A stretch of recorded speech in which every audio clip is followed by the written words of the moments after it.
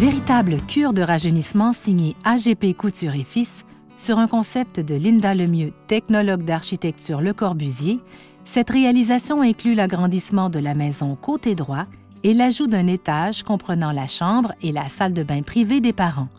L'escalier split level, par lequel on accède à ce nouvel étage supérieur, aura constitué un des gros défis de cette transformation extrême, étant donné l'espace très restreint.